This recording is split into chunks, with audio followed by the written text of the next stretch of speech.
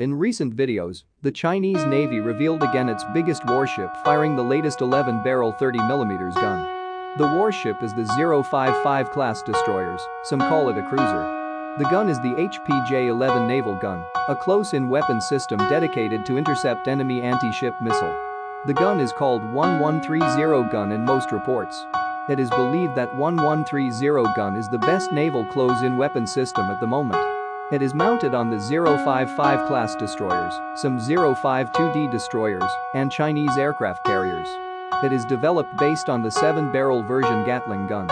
Some Chinese warships are still equipped with older 7-barrel HPJ-12 guns.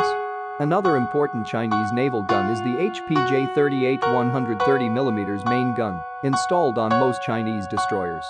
The gun can be operated fully automatically. The turret house the gun, radar, optical and infrared tracking systems, feeding mechanism and ammunition storage. The main purpose is to shoot down anti-ship missiles, but it can also intercept boats, aircrafts, or attack land targets. The turret has two ammunition storage with around 1,000 rounds ready to fire.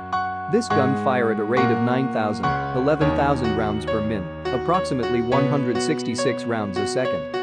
The firing control unit can lock on 40 targets at a time. The 1130 gun fires a 30 by 165mm spin stabilized discarding armor-piercing round. A low-drag heavy metal core of the ammunition has exceptional flight performance and can penetrate light armor-protected missile warhead.